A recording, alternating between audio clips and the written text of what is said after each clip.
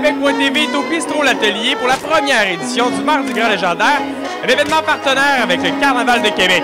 Nous assisterons à une compétition de cocktails qui mettra en compétition quatre animateurs de Radio de Québec. C'est la première édition que vous êtes partenaire Hydro-Québec avec le Carnaval de Québec. Quel défi que ça représente pour vous? La logistique, c'est l'achalandage, c'est d'aller chercher le plus de monde possible, mais c'est pas plus un défi qu'un, qu'une opportunité qu'on a de cinéma avec le Carnaval de Québec en ce moment nous donne énormément de visibilité puis nous permet de faire un bel événement comme ça ce soir. Puis de où vous est venue l'idée justement de faire un bel événement burlesque comme ça? C'est venu d'une erreur de texto en fait avec euh, une des animatrices d'énergie. C'est notre porte-parole à, la radio. Mais c'est Catherine qui était l'animatrice d'énergie qui m'a répondu en premier. Puis elle a dit euh, Excuse-moi, en passant, je savais pas que je rentrais à 4 heures pour un chiffre de barmaid à soir. Je savais pas que ça rentrait mon contrat de pub. Fait qu'elle a dit euh, Mais la prochaine fois, si jamais tu as besoin, ça me tenterait peut-être de faire un événement avec toi. Puis c'est parti comme ça.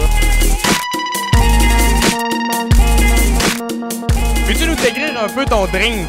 Euh, ouais. Southern Comfort avec euh, un rail euh, fumé. Fait que c'est un whisky là, qui vient de la Louisiane. Fait que les deux mélangés, euh, c'est un bon mix. Euh, on a fait une infusion maison avec hibiscus, euh, menthe là-dedans, camomille. Fait que, tu sais, ça donne un petit côté vraiment, vraiment green. C'est très, très bon.